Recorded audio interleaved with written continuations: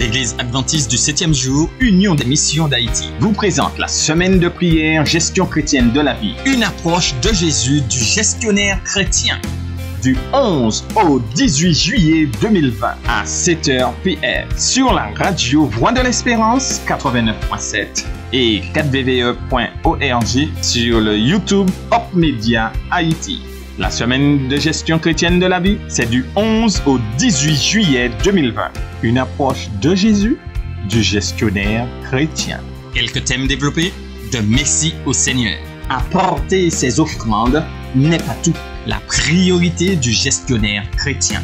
La fidélité, la foi de la bénédiction. Dieu réclame la dîme de tout. Donnez-leur vous-même à manger. Marie, Jésus te parle. Ma vie, une offrande de reconnaissance à Jésus. Une approche de Jésus du gestionnaire chrétien. C'est du 11 au 18 juillet 2020 à 7h PM.